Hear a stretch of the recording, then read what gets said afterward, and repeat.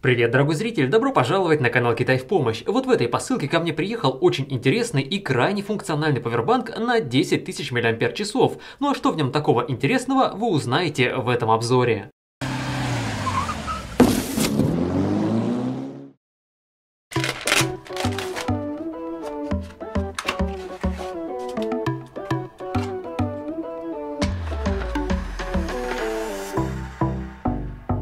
Короткая предыстория. Те, кто следит за тем, что происходит на нашем канале, наверняка видели вот этот обзор крутого внешнего аккумулятора от Ugreen на 10 тысяч мАч с честной емкостью, быстрой зарядкой и высочайшим КПД. Так вот, в том обзоре мы договорились, что если он наберет 700 лайков, я продолжу снимать обзоры на 10 тысячники. Так вот, лайки собраны, новый повербанк заказан, и сегодня изучим вдоль поперек внешний аккумулятор от Baseus модели F10W. И сразу уговор на следующий обзор. Собираем 800 лайков под этим видео, заказываем еще одну модель. Кстати, свои варианты моделей для будущих обзоров предлагайте в комментариях под этим видео, только, пожалуйста, без ссылок, их YouTube блокирует. Итак, Powerbank Baseus F10W приезжает в симпатичной картонной коробке с качественной полиграфией, тиснением, указанием технических характеристик и стикером для проверки подлинности гаджета. И в плане дизайна упаковки Baseus, как всегда, большие молодцы. В комплекте получаем инструкцию, гарантийник, короткий микро-USB кабель и резиновый ремешок на запястье запястье, который уже заранее заботливо привязан к повербанку. За все это придется отдать 25 долларов. И да, это примерно на 10 долларов больше, чем цена повербанка от Ugreen. Но забегая вперед, такая разница в цене оправдана функционалом гаджета, но об этом чуть позже. Также отмечу, что получил я повербанк всего за 5 дней, за что спасибо российскому складу Baseos. Теперь изучим сам гаджет. Так перед нами достаточно компактная коробочка со скругленными углами и гранями. В моем случае эта коробочка двухцветная, большая часть корпуса из красного матового пластика, а верхняя часть из глянцевого черного.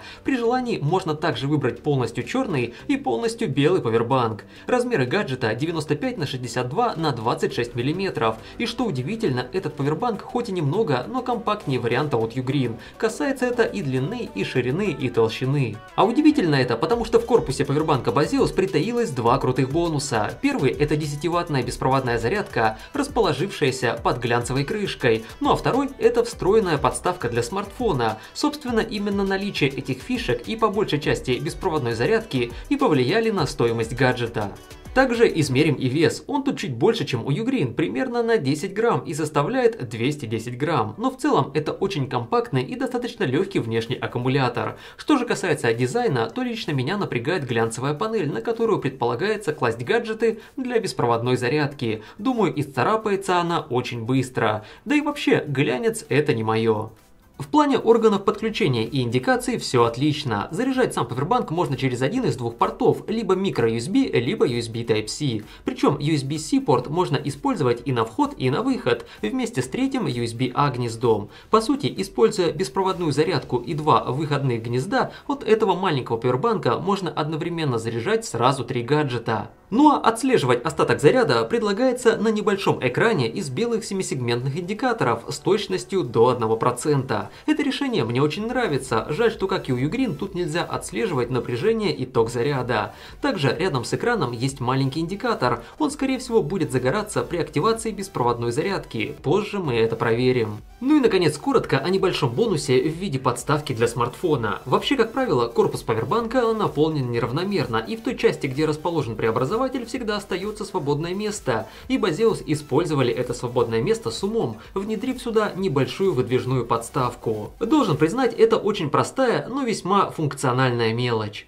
Далее пройдемся по характеристикам. Их производитель не скрывает и подробненько перечисляет и на коробке, и в инструкции, и на задней стороне самого гаджета, хотя тут их разглядеть очень непросто. Так нам обещают емкость аккумулятора в 10 тысяч мАч при 3,7 вольта или 37 Вт-часов. Заявляется КПД в 76% и емкость на выходе в 5800 мАч при 5 вольтах. Мощность на отдачу составляет 15 Вт в режиме обычной зарядки, то есть 5 вольт 3 ампера, и 18 Вт в режиме быстрой быстрой зарядки, то есть 12 вольт 1,5 ампера. Максимальная мощность беспроводной зарядки 10 ватт. По странной традиции в инструкции отсутствует перечень поддерживаемых технологий быстрой зарядки и такое ощущение, что чтобы их указать, производителям необходимо платить за использование патентов или торговых марок. Ну вот на странице с описанием товара все присутствует и обещает нам Qualcomm Quick Charge 3.0 и Power Delivery. На этом с внешним осмотром и изучением характеристик закончили, переходим к проверке возможностей. Начинаем с проверки мощности повербанка, ее как обычно будем тестировать с помощью USB тестера и нагрузочного модуля. Напоминаю, Ссылки на все оборудование, которое мы используем, вы при необходимости найдете в описании под видео. Подключаемся для начала к USB-A порту. По заявлению производителя от этого порта в 5-вольтовом режиме мы можем получить до 3 ампер. Активируем нагрузку. И видим следующее. Получаем ровно 5 вольт и 3 ампера. Ищем предельный максимум. И сильная просадка по напряжению наступает при достижении значения тока в 3,4 ампера. Теперь проверим быструю зарядку. Сейчас на нагрузочном модуле я выставил 1,5 ампера. Включаем специальный триггер быстрой зарядки и пробуем плавно менять напряжение. Отлично, напряжение плавно меняется, значит этот зарядник, а точнее повербанк, поддерживает технологии быстрой зарядки Qualcomm Quick Charge 2 и 3 поколений. И так мы получили максимальное напряжение в 12 вольт. При этом Powerbank спокойно выдает 1,5 ампера. Попробуем найти предельный максимум. И судя по показаниям прибора, максимум, который мы можем получить от этого повербанка в режиме быстрой зарядки, примерно 20 Вт. Теперь проверим и другие технологии быстрой зарядки. Для начала активируем Samsung AFC Trigger. Напряжение выросло до 9 вольт, технология поддерживается. Далее Huawei FCP. Напряжение также выросло и эта технология поддерживается. Переходим к гнезду USB Type-C. И для начала подключаем к нему Power Delivery Trigger. Отлично, индикатор загорелся, технология Power Delivery поддерживается. 9 вольт поддерживается и 12 вольт поддерживается. Попробуем найти максимальную мощность. Сразу активируем нагрузку в 1,5 ампера. И никаких проблем, 18 ватт получаем с легкостью. Пробуем найти предельный максимум. Ну и собственно максимум тот же 20 Вт. В принципе оно и не удивительно. В данном повербанке установлен только один умный преобразователь, который может заряжать либо три устройства обычной зарядкой, либо только одно устройство быстрой зарядкой. Теперь переходим к изучению беспроводной зарядки. Итак, активируем повербанк. Размещаем на нем специальный тестер и знаете, беспроводная зарядка работает и работает весьма интересно. Как оказалось, в режиме беспроводной зарядки Powerbank может выдавать от 5 до 9 вольт. Признаюсь честно, что это за протокол такой и как происходит регулирование напряжения, для меня загадка. Но главное, мне удалось выжать из Powerbank при беспроводной зарядке около 16 ватт, и это очень серьезный результат. Напомню, обещали нам всего 10 ватт. В общем, беспроводная зарядка работает и с большим запасом выдает заявленную мощность. Но если вам известно, как происходит регулирование регулирования напряжения. Буду рад, если вы поделитесь этой информацией в комментариях. Также экспериментальным путем удалось выяснить назначение маленького LED-индикатора. Так он загорается синим, когда устройство готово к беспроводной зарядке, и загорается зеленым, когда эта самая беспроводная зарядка уже началась. Не обойдем стороной и такие моменты, как зарядка малым током и проточная зарядка. Что касается зарядки малыми токами, то она присутствует. Активировать ее как-то дополнительно не требуется. В таком режиме от повербанка можно получить примерно 45 мА. В плане проточной зарядки все так же отлично. В этом режиме повербанк заряжается сам и одновременно заряжает другое стороннее устройство. Правда, возможности его в таком режиме невелики, и мы можем получить примерно 1 ампер при напряжении 4,75 вольта. Напомню, Напомню, это минимальное допустимое напряжение по стандарту USB. Следующим шагом с помощью портативного осциллографа DSO-150 проверим, насколько сильно пульсирует напряжение на выходах повербанка. Напомню, низкими считаются пульсации до 1% от номинального напряжения, то есть в случае с 5 вольтами это 50 милливольт. Нормальными являются пульсации до 2%, все что выше уже нежелательно. Высокие пульсации ускоряют деградацию электронных компонентов ваших гаджетов, а в очень печальных случаях могут даже полностью выводить устройство из строя. Именно поэтому данный тест я считаю очень важным. Итак, активируем Powerbank. Активируем нагрузку на 3 ампера и видим следующее. Пульсации повербанка в таком режиме 56 милливольт, то есть совсем чуть-чуть больше 1%. И теперь второй замер, его уже проводим в режиме 12 вольт 1,5 ампера.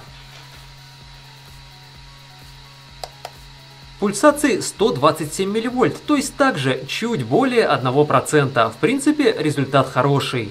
Что ж, должен признать, что пока что Powerbank держится очень достойно, а значит пора переходить к замеру его реальной емкости. Так производитель заявляет, что емкость встроенного литиевого аккумулятора составляет 10 тысяч мАч при 3,7 вольта или 37 Вт-часов. Измерять будем именно в Вт-часах, так как эти единицы измерения позволяют не учитывать изменения напряжения на преобразователе устройства. И да, если у вас возникают какие-то вопросы по поводу того, как я вычисляю емкость и КПД, просто посмотрите вот этот обзор. В нем я все подробно и понятно объяснил. Ну и естественно, для большей наглядности я как обычно снял таймлапс разрядки повербанка. Ватт-часы, если что, подсчитываются во второй строке. Разряжал при напряжении 5 вольт и током в 1 ампер. Таким током я разряжаю все десятитысячники, и это позволяет сравнивать их результаты. И да, естественно, при увеличении тока или использовании быстрой зарядки КПД будет ниже, это стоит учитывать.